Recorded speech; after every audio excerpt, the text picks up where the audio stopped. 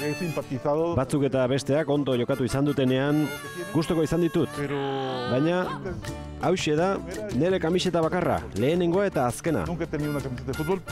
Nola heldu da Mexikarra Real hain gertutik bizitzera? Carlos Belak badu zer ikusia. Qué bueno que, que, que- Carlos Inon ez dut hain ondo zaindu. Indar berritu egin dute. rehabilitado Baina Imanol Agirretxeren gol honek zabaldu zizkion begiak. y mete el gol y subidón, ¿no? subidón. Inoiz ez nion Bartzelonari partidarik galtzeriko pa, baina orduan gozatu egin nuen. dado mucho gusto que perdiera el Barça.